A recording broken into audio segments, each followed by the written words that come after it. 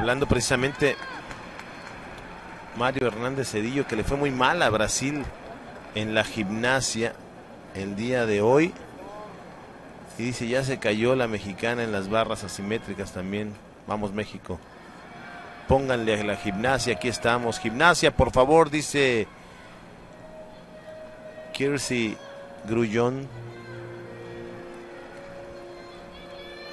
Llegaron 109 mensajes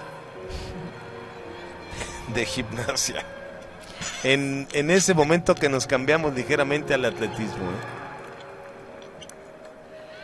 Sí, realmente uno de los deportes más seguidos y más disfrutados.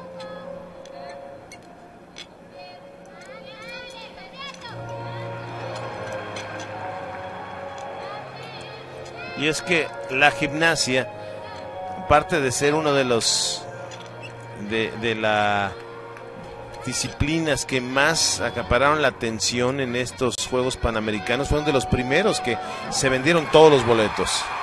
Como suele suceder en casi todos los eventos internacionales. Los aplausos para esta jovencita del equipo mexicano, Carla Salazar.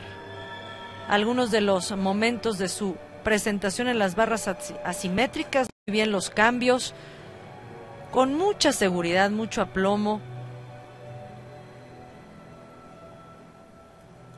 El giro y la salida.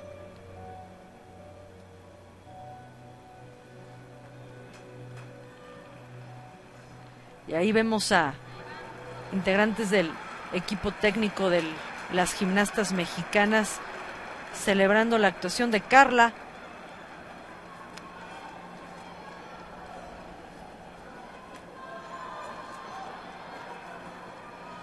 Doce punto seiscientos setenta y cinco su calificación. Siguen llegando mensajes.